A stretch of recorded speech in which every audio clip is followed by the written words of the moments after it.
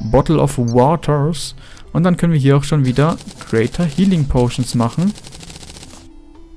So, 30 Stück. So, okay. Achso, das sind passte perfekt hier. Und noch eine geht. So, und mehr haben wir leider nicht. Der Pixie Dusk ist ausverkauft.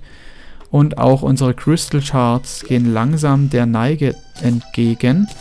Das heißt, wir müssen mal mehr Pixie Dusk farmen. So in der Zeit. So, und jetzt tun wir aber hier mal wieder alles reinlegen, was wir nicht mehr brauchen. Zum Beispiel die Pilze brauchen wir nicht mehr.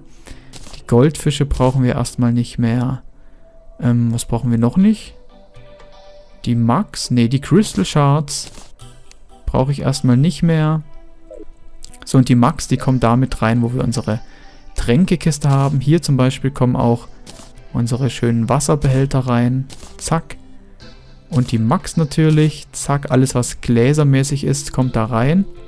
Wobei, da können wir auch Glas hier rein tun. Das müssen wir ja dann nicht unten haben. Wobei Glas, na okay, Glas ist wieder das anderes. Da oben lassen wir mal nur Behälter drin sein. Glasbehälter, Gläser. Und hier unten dann das richtige Glas. So. Und das Holz kommt wieder rein. So, und das Eisen, das können wir auch wieder schön verstauen. Und zwar hier drin Eisen und Silber. So. Haben wir im Prinzip auch wieder genug hier. Und die, die Heilpotions, die denke ich mal, kann man doch verkaufen, oder? Kann man die verkaufen oder braucht man die nochmal, die normalen Healing Potions? Ich weiß es jetzt gar nicht. Ich tue sie aber einfach mal raus. So, Healing Potion, die auch. So, da haben wir die alle da drin.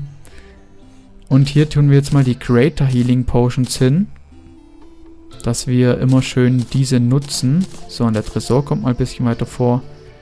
Er kommt vielleicht mit hier unten hin, der Tresor. So, an diese Stelle. So, ja, dann wären wir eigentlich auch schon bereit. Mit Bier und Suppe in der Hand. Und, ach ja, wir wollten ja noch was craften, glaube ich. Das habe ich jetzt fast vergessen. Diese eine Potion. Ähm, da gab es noch eine. Wir wollten uns ja gut vorbereiten. Ein Bottle of Water. Guide, zeig mir nochmal. Ach, jetzt geht die so der Mond schon fast wieder unter. Ich habe jetzt gar nicht mitbekommen, dass wir schon wieder Nacht haben. hm. So, Bottle of Water. Zeig mir, was man hier noch draus machen kann. Vielleicht finden wir noch was. Obsidian Skin Potion brauchen wir nicht. Rege Regeneration Potion provides Life Regeneration. Das können wir noch machen. Movement Speed, Breath Water. Ne, Increased Defense bei 8. Die Iron Skin Potion, die können wir uns auch noch machen. Increased Mana Regeneration. 20% Damage. Ja, die wollten wir uns auch noch machen. Emits an hour of light, night vision, increases enemy spawn rate. Attackers also take damage. Ja, die kann man sich ja vielleicht auch machen. Shows the location of any, allows the control of gravity. Ja, die haben wir ja sowieso dabei. Gut, dann machen wir uns mal auf jeden Fall noch die Iron Skin Potion. Wo haben wir denn die? Und die hier, die Regeneration Potion, da brauchen wir Sonnenblumen, Pilze und für die andere brauchen wir Sonnenblumen und Eisen. Okay, also Sonnenblumen, Pilze und Eisen holen wir uns mal eben. Na? Sonnenblumen, Pilze und Eisen. Das dürften wir doch alles haben. Da Dayblooms. Dann Ei Pilze, Pilze, Pilze. Warme Pilze, da haben wir Pilze.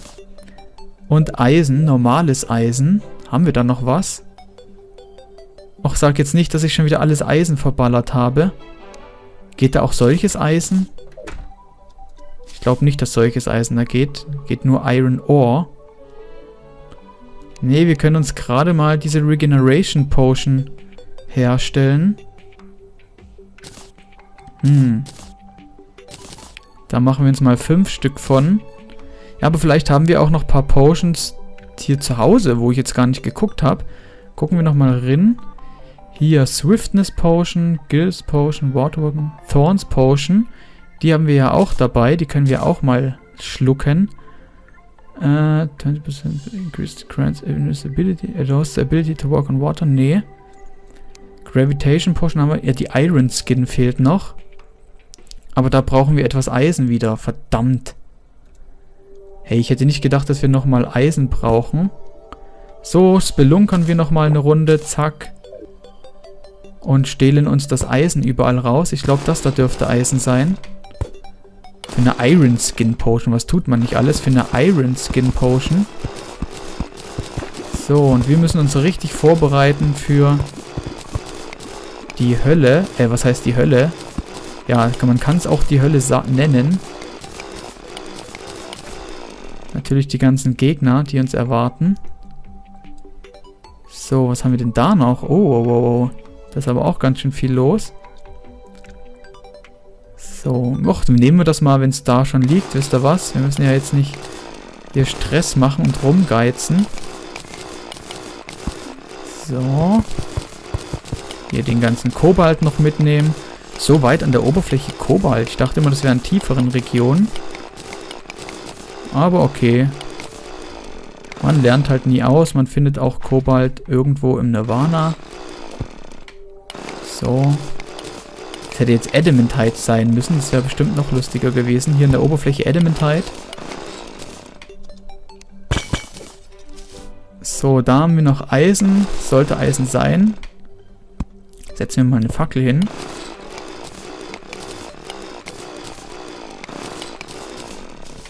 So, und gehen dann hier hoch. Und schnappen uns auch noch das letzte Stückchen Eisen. Was heißt das letzte Stückchen? Zumindest das, was wir hier finden.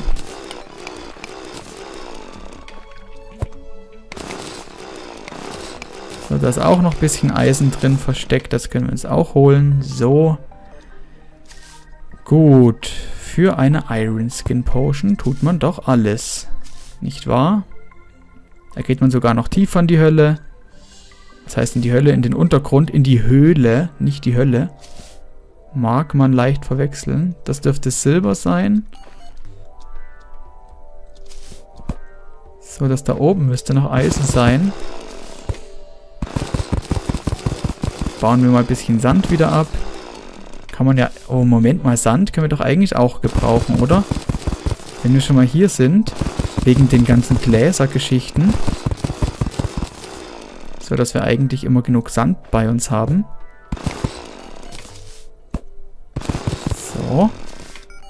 Wird das auch gegessen. Und dann gehen wir jetzt mal hier schön hoch, schön fleißig. Ach, guck mal einer an, was man hier nicht alles findet. Na, ich habe keine Fackeln mehr, oder was? Das ist ja blöd. So, da haben wir noch mehr Eisen. Wer hätte es gedacht? So. Ach. Sind wir auch noch runtergefallen. So, keine Fackeln mehr? Das gibt's doch nicht. Es ist doch... Es ist doch eine Verschwörung. Ach, wer läuft denn hier rum? Wieder so eine Possessed Armor. Na, komm her. Du da hinten auch noch. Du hast es bitter nötig, glaube ich. So, und wir sind schon wieder hier im Pixie-Gebiet, oder? Kann das sein? Naja, egal. Das reicht ja erstmal jetzt an Eisen. So, daraus können wir uns jetzt unsere Iron Skin Potion machen. Da haben wir sie. Machen wir uns mal 10 Stück von so. Wir müssen ja mit nichts geizen an der Stelle. Und dann gehen wir mal nach unten und legen wieder die Zutaten ab, unter anderem. So hier, die Dayblooms kommen rein, die Pilze kommen rein. Können wir noch was quickstacken? Nein. Hier oben haben wir aber was zum Stacken. Da, ein bisschen Kobaltohr. Gut, und hier kommt natürlich wieder der, der ganze Rest rein vom Schützenfest. Also der ganze Dirt. Der Sand kann auch da rein. Stone Blocks. Ja, Stone Blocks, die hatten wir jetzt hier drin, glaube ich. Jawohl. So. Gut. Was nehmen wir denn dann alles für Potions? Das ist jetzt eine Frage. Ich würde sagen, wir nehmen auf jeden Fall die Thorns Potion. Das tun wir alles mal hier unten aufreihen. Dann die Iron Skin Potion nehmen wir. Dann nehmen wir noch die Regeneration Potion. Das Mechanical Eye kommt jetzt mal mit hierher. Iron Bar. Wo habe ich denn das jetzt her? Ach so, das hatte ich ja vorhin mitgenommen. Das tun wir mal wieder rein. Die Spelunker Potion brauchen wir nicht. Aber das Eisenohr tue ich mal hier mit rein. Zack. So, und dann nehmen wir natürlich noch die Sachen da. Die Suppe und das. Und die Gravitation Potion könnte man eigentlich auch nehmen. Wenn wir das dann reihweg nacheinander nehmen, sollten wir doch eigentlich gut gewappnet sein. Wir haben die großen Heil-Potions. Ich weiß gar nicht, ob es noch andere davon gibt jetzt. Gibt es davon noch was anderes? Kann man mal da gucken, hier vielleicht in den Shops, vielleicht beim Zauberer da oben. Zauberer. Na, ich will, dat, ich will doch nur da hoch. So, jetzt hier habe ich mir ständig den Kopf gestoßen. Ähm, Crystal Ball can be placed. Was kann man sich daraus eigentlich machen? Das ist bestimmt auch interessant. Ich glaube, den sollten wir uns mal kaufen. Zack. So, Musik hatten wir uns. Spellthome, Zauberbuch, Ice Rod, Creator Mana Potion. Ja, und die Harfe. Die brauchen wir natürlich auch später. Aus der können wir dann die Magical Harp machen, aber dazu brauchen wir eben die Soul of Sights von den Twins, was wir uns als nächstes ähm, holen gehen. So, und wir tun die, die Kugel einfach mal hier oben auf den Tisch stellen. So, hier kann sie ja stehen. Und dann kann man die benutzen. Was macht die? Ach, die füllt bestimmt hier Mana auf oder sowas. Habe ich das Gefühl... Ach nee, hier, 10 Minuten. Magic Powers are increased. Ah, okay. 52 Damage. Hat es vorhin auch schon 52 gemacht? Ich weiß es gar nicht. Mystical Demon Sight. Mystical Waterbolt. Ja, damit sollten wir doch eigentlich gut gewappnet sein. 10 Minuten, seht ihr mal, ist das increased. Das heißt also, daraus kann man gut was machen. So. Achso, wisst ihr, was ich nochmal mache? Ich werde auch nochmal diese, diese Bottles... Wir haben da oben noch Bottles drin, die habe ich jetzt ganz übersehen. Die tun wir natürlich auch noch abstellen. Die kommen mit hier rein. So. Ja, und dann wären wir doch eigentlich gut vorbereitet. Wobei die Gravitation Potion, die tue ich mal hier mit hin. Da bin ich am überlegen, die nicht sofort einzusetzen. Weil die brauchen wir garantiert nicht so schnell. Bei den Twins zumindest nicht. Beim Destroyer denke ich mir eher. Aber schauen wir einfach mal, was uns da erwarten wird. So, und Adamantite brauchen wir auch noch. Und der Guide ist ja wieder da. Bevor es Nacht wird, sage ich mal, wollen wir ja noch ein bisschen Action haben. Gehen wir einfach nochmal nach unten und besiegen noch einmal die Wall of Flesh. Vielleicht mag sie ja jetzt auch hier unser Warrior-Emblem droppen, man weiß es ja nicht. Wir könnten ja Glück haben mit ein wenig Glück. Probieren wir es mal, ob wir da das Warrior-Emblem jetzt rauskriegen. Boah, jetzt fällt es auch wieder stockdunkel. Ja, weil wir haben ja wieder... Ach, da fallen noch die Fackeln, ihr seht's. Da fallen die Fackeln, weil wir haben ja vorhin auch etwas Wasser hier runtergeschmissen. Aus Versehen. Etwas Wasser freigelassen. Und natürlich, wo das Wasser lang fällt, da fallen die Fackeln natürlich ab wie Sägespäne. So, aber wir haben... Oh, hier liegen sie ja alle. Da liegen ja die 18 Fackeln. Fire Blossom liegen auch da. Okay, was haben wir hier? Ach, Deathweed. Hier unten in der Hölle wächst also Deathweed. Gut zu wissen. Ja, das, das, wussten wir eigentlich auch schon, aber man vergisst es wieder ab und zu mal. So, ne, das war nix keine Fire Blossom, wie es aussieht. Sondern bin ich mal gespannt, wie schnell wir die Wall jetzt besiegen. Increased Magic Damage, aha, mit der Crystal Kugel. Naja, aber ich denke mal, es wird sich nicht um viel erhöht haben. Der Schaden da, der entsteht. Boah, wie viel war, mal wir hier schon die Wall of Flash besiegt haben, das ist auch nicht mehr feierlich. Guckt euch das mal an, überall hier stehen die Überbleibsel, die Überbleibselkisten. Ach, Bone Serpent kommt auch Hallo sagen. So, der kommt gleich wieder, keine Sorge. Ach, da hat er schon Weg verfehlt. Na, Bone Serpent, magst du nicht hier uns angreifen, oder wie? Na, doch, jetzt kommt er leicht hoch. Jetzt, ah, nee, der dreht wieder nach unten ab. Hat doch ein bisschen Schiss, der Gute. Jetzt kommt er, zack. Jetzt hat er aber alles erledigt hier. So.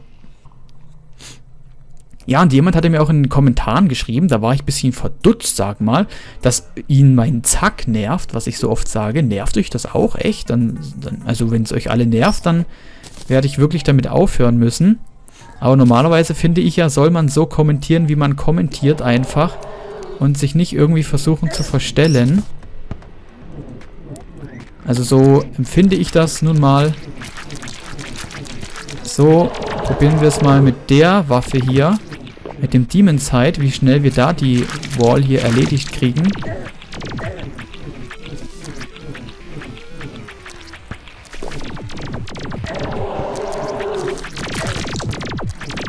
So, okay. Naja, es, es wird schon, es wird schon. Ich weiß jetzt nicht, ob es unbedingt schneller wird, die Wall zu besiegen so, aber man besiegt sie doch schon ganz gut. Hier, wenn man so direkt vor ihr herfliegt, wahrscheinlich am besten. Oder so halb in ihr drin. Ja, zack. So schnell bis... Ach, jetzt habe ich schon wieder zack gesagt. Könnt ihr mal sehen. Das Sorcerer-Emblem haben wir wieder bekommen. Okay. Also mit dem Demon Sight geht das schon richtig gut ab. Man muss halt nur schnell sein. Na?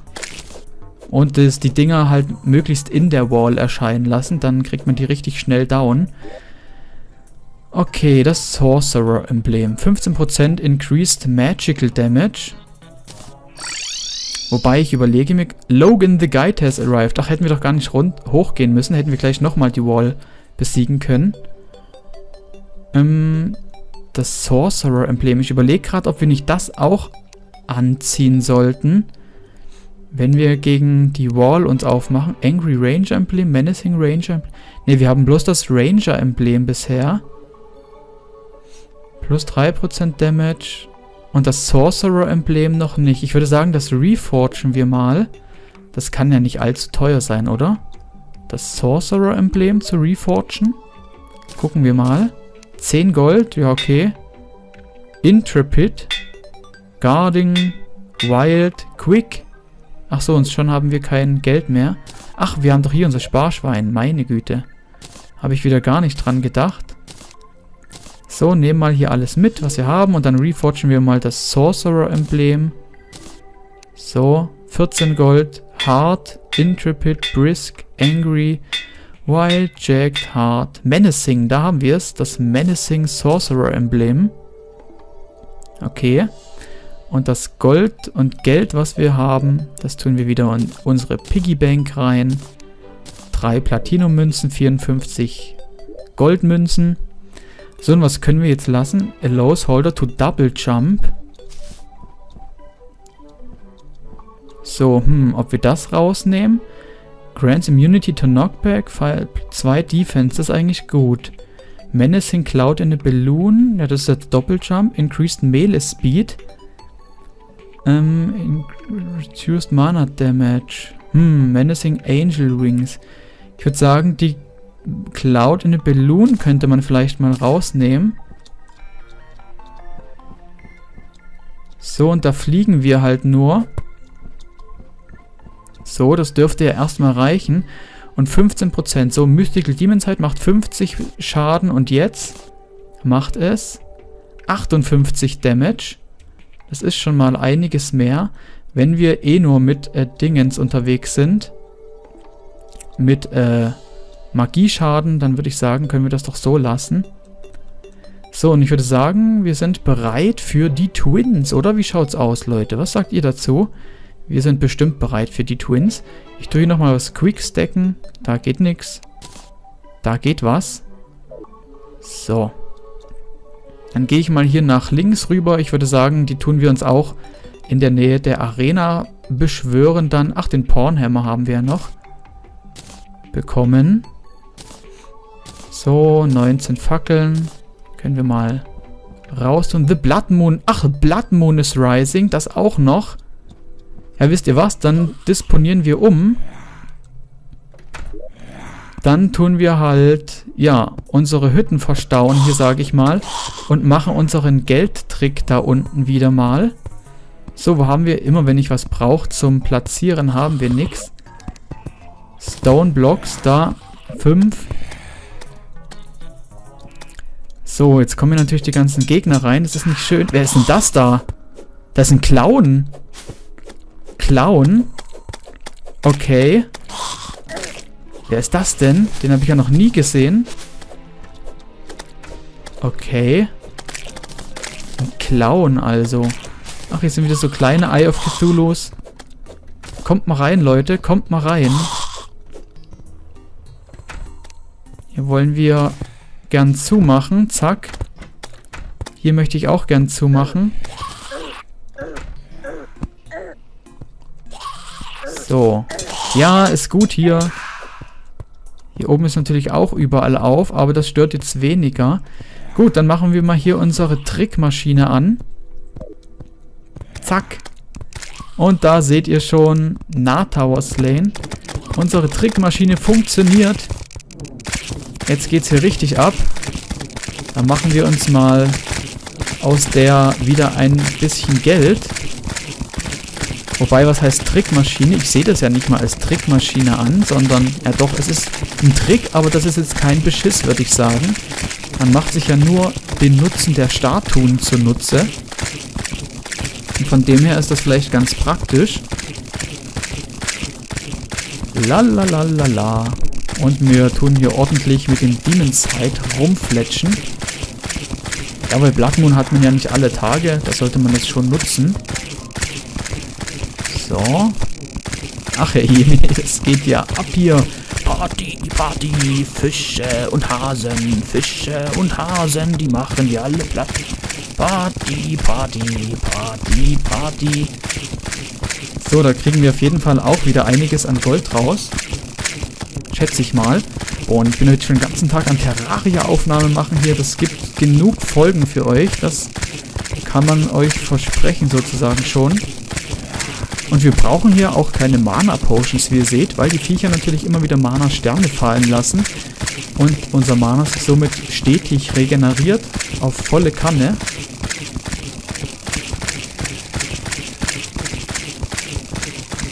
So, machen wir hier mal ein bisschen Action. Ah, Blood Moon, das könnte eine Weile dauern. So. Vielleicht könnte man auch den Mystical Water Bolt einsetzen. Sollte man vielleicht mal probieren, oder? Ich weiß es gar nicht. Hm. Nee, ich glaube, das Demon Sight ist ganz gut. Jetzt habe ich es ja in der Hand. Bevor ich jetzt hier wieder Waffe wechsle und Co. Nee. Was? 35.000 Copper Coins haben wir schon eingesammelt, wie ihr da seht. 36.000. 37.000. Das steigt natürlich echt wahnsinnig schnell hier. So, oh, da tut einem schon der Finger weh vom Klicken. Ich muss mal meine Hand hier, ich halte meine Hand senkrecht über der Maus, um schnell zu klicken. Und um schnell hier neue Magieschaden rauszuhauen. Das ist echt unglaublich. So, der Blood Moon ist zur Hälfte vergangen. Wir machen hier wieder ein bisschen Trickkiste, wie ihr seht. Ich hoffe, das stört euch nicht allzu sehr. So, bei 49.000 Kupfermünzen sind wir angelangt. 50.000, 5.000 Silbercoins, 50.000 Kupfer. Ja, da könnt ihr euch umrechnen, wie viel Gold das jetzt schon ist. Und da hinten liegt ja auch noch Gold. So ist es ja nicht. Also im Raum drin. So, boah, das ist hier doch schon wieder ein bisschen laut, das ganze Gezauber. So, ach ja, wäre es schön, wenn man den Destroyer zum Beispiel in einen Raum stecken könnte. Dann könnte man sich einfach so einen Schlitz da durchmachen, wie hier, und den von außen abschießen.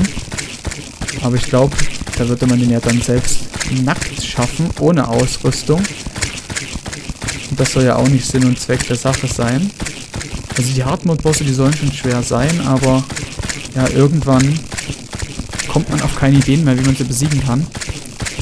Aber ich habe ja da noch ein paar Sachen in petto auf Idee übrig. Da schauen wir mal, ob wir das schaffen. Boah, und hier wird der Finger taub langsam, ey. Das geht gar nicht. Hm, hm, hm, hm. Was schätzt ihr denn? Wie viel Platin und Gold kriegen wir denn davon? Guck mal, wir haben jetzt schon 75.000 Kupfermünzen gesammelt. Das sind ja umgerechnet ähm, 750 Gold. Das müssen ja schon sieben Platinmünzen sein, oder? Allein das, das Kupfer und dann haben wir auch noch 7000 Silber. Das müssten ja auch 77 Gold sein, oder? Ne, 7000 Silber. Ne, Quatsch. Das stimmt nicht, was ich erzählt habe. 80.000 Kupfermünzen. Geteilt durch 100, das müssten 840 Silber sein. Ja, das müssten dann 8 Gold sein ungefähr. Ja, das ist nicht ganz so rentabel wie zum Beispiel jetzt ähm, diese Musikbox-Trickgeschichte. Das geht natürlich schneller. Aber ich will es euch hier einfach nochmal zeigen, den kleinen Trickraum, womit man schnell sein Geld machen kann. Und draußen die Monster, die klopfen sich schon den Ast ab. Aber was war denn der Clown? Habt ihr den Clown gesehen? Der war ja lustig. Den habe ich noch nie gesehen. Hm. So. Ah, komm schon. Die haben natürlich auch alle 100 Energie hier. Die sind natürlich auch umso stärker in der Corrupted-Version. Und wenn es dann wieder Tag wird, dann werden sie wieder zu normalen Viechern und sie werden schwächer und sind viel schneller besiegt. Ah, die aktivieren natürlich ständig die Schalter hier, deswegen... ich frage mich, wie viele hier gerade drin sind.